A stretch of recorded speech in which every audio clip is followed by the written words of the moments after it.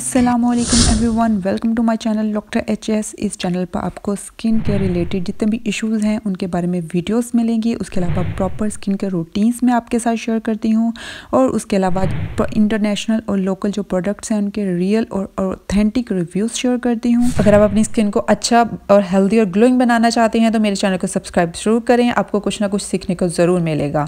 आज मैं बात करने लगी हूँ एक बहुत magical skin care ingredient azelaic acid के बारे में, जो कि हमारी फार्मेसीज़ या ड्रग स्टोर पे 500 से नीचे ईजिली मिल जाता है कि एजलिक एसिड क्या होता है इसके क्या क्या फ़ायदे हैं आपने इसको किस तरह इस्तेमाल करना है और कौन सी स्किन टाइप के लोग इसको इस्तेमाल कर सकते हैं और किन लोगों ने नहीं करना और इसके बारे में जितने भी प्रोज एंड कॉन्स हैं वो मैं सारे डिस्कस करूँगी। सो आपने मेरी पूरी वीडियो देखना है और हाँ उससे पहले आप मेरे चैनल को सब्सक्राइब ज़रूर करें वीडियोज़ को लाइक भी किया करें और शेयर भी किया करें। चले अब बात करते हैं कि एजलिक एसिड क्या होता है और ये डिस्कवर्ड कैसे हुआ था इसकी हिस्ट्री क्या है मैं थोड़ी सी आपको वो बताती हूँ। जो लोग अक्सर स्विमिंग करते थे या जिनका एक्सपोजर बहुत ज़्यादा सन एक्सपोजर होता था स्पेशली जब बीच पे तो उनकी बॉडी पे वाइट पैचेस प्रोमिनेंट होते थे, ठीक है?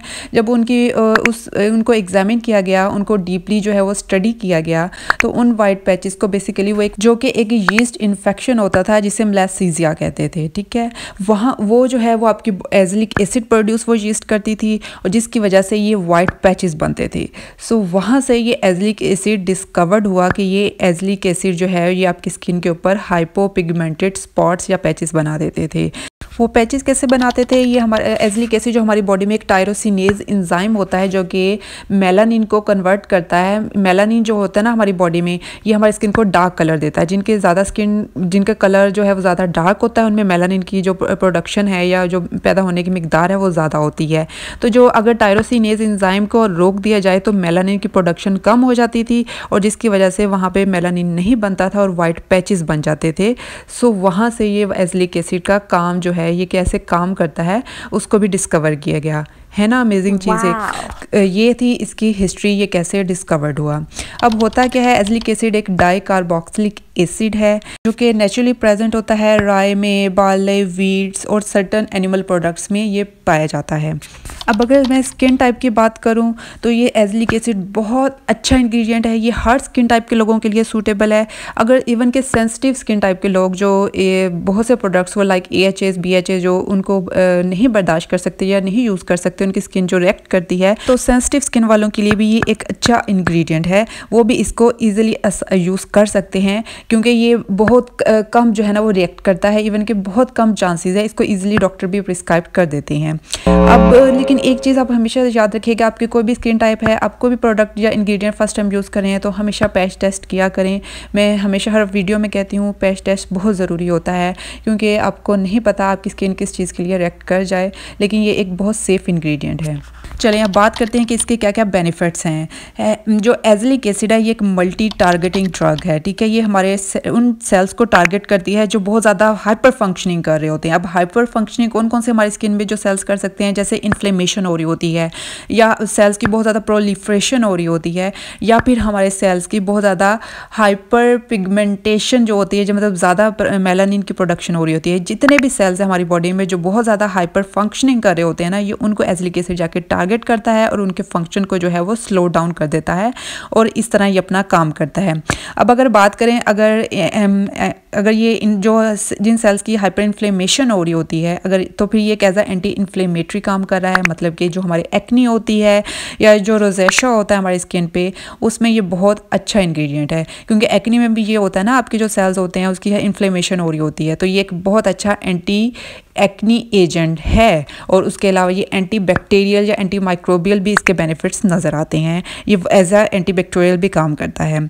उसके बाद अगर आपके सेल्स की बहुत ज़्यादा हाइपर प्रोलिफ्रेशन हो रही है, जैसे कि हमारे जो सीबम प्रोडक्शन वाले सेल्स हैं, जो बहुत ज़्यादा सीबम की, हमारी स्किन में सीबम की प्रोडक्शन हो रही है या ऑयल की प्रोडक्शन बहुत ज़्यादा हो रही है, जो बाद में कन्वर्ट होते हैं हमारे ब्लैक हेड्स या वाइट हेड्स में जाके तो ये उनकी जो काम है ना, उसको भी स्लो डाउन कर देता है। तो फिर क्या होता है कि ये एक बहुत अच्छा इंग्रीडियंट है किसमें अगर आपके आपके बहुत ज़्यादा ब्लैक हेड्स बन रहे हैं या वाइट हेड्स बन रहे हैं तो ये उसके को भी जो है ना वो इस्तेमाल किया जा सकता है और बहुत अच्छा इंग्रेडिएंट है स्पेशली अगर गर्मियों में आपको ये ज़रूर इस्तेमाल करना चाहिए। उसके बाद थर्ड पे अगर इसका काम देख पाए जो इन सेल्स की हाइपर जो है ना पिगमेंटेशन जो बनाते हैं या जो मिलाजमा हमारी स्किन पे होता है, या जिनके छाइयाँ बन जाती हैं सिंपल वर्ड में तो उनके लिए भी ये उन सेल्स को टारगेट करता है जो बहुत ज़्यादा काम कर रहे होते हैं और उनके काम को स्लो डाउन कर देता है, यानी टायरोसिनेज इंजाइम की कन्वर्ट जो है ना, उसको इनहेबिट कर देता है, जिसकी वजह से मेलानिन की प्रोडक्शन कम होती है और जो हमारे पैचेस बन रहे होते हैं या जो छाइयाँ बन रही होती हैं मिलाजमा तो उसके वो जो है ना, वो ख़त्म कर देता है। लेकिन इसकी ये है कि जो सेल्स हाइपर फंक्शनिंग हमारी बॉडी में होते हैं ना, उन्हीं को टारगेट करता है। लाइक like, अगर आप ये इसको इस तरह यूज़ करेंगे ना कि आप इसको सिंपल स्किन पे इस्तेमाल करें तो हमारी स्किन को जो है ना, ये वाइट कर देगा लाइट कॉम्प्लेक्शन कर देगा तो ऐसा नहीं है। नॉर्मल सेल्स को ये कुछ नहीं कहता। जो सेल्स जो ज़्यादा गड़बड़ कर रहे होते हैं ना, सिर्फ़ उन्हीं को जाके जो है ना, वो ज़रा तसली देता है, रोकता है। सो इसलिए अगर आपके कोई स्पॉट्स बने हुए हैं एक्नी मार्क्स हैं तो वो स्किन वाले भी इसको ईजिली यूज़ कर सकते हैं। ये ब्लीचिंग एजेंट नहीं है, लेकिन जो हाइपर फंक्शनिंग सेल्स हैं, उनके लिए बहुत अच्छा ये इंग्रेडिएंट है। अब लाइक अगर आपके एक्नी है तो आप एजलिक एसिड के साथ जो है वो बेंजॉइल प्रोक्साइड वगैरह यूज़ कर सकते हैं, या इस तरह की जो क्लेंडामाइसिन इस तरह की होती हैं, वो तो एक प्रॉपर प्रिस्क्रिप्शन होती है ना, उसमें जो पेशेंट्स उनको रिकमेंड की जाती है, वो यूज़ करते हैं। और इसी तरह अगर आपके हाइपर पिगमेंटेशन मिलाजमा या छाइयाँ हैं तो उसमें आपको जो एजलिक एसिड के साथ जो है वो आप कोजिक एसिड वगैरह को कंबाइन करके यूज़ कर सकते हैं। तो ये ज़्यादा अच्छे से काम करता है। जब दो इंग्रेडिएंट यूज़ हो रहे होंगे तो ये दोनों बहुत अच्छे से काम करते हैं। बाकी आप मैंने पिगमेंटेशन पे हाइपर पिगमेंटेशन और एक्नी वगैरह पे अलग से वीडियो बनाई हुई है। आप डिटेल से वो देख लें, वहाँ पे आपको रूटीन्स जो हैं वो ईजिली समझ आ जाएँगी कि आपने कौन सी प्रोडक्ट कैसे यूज़ करनी है।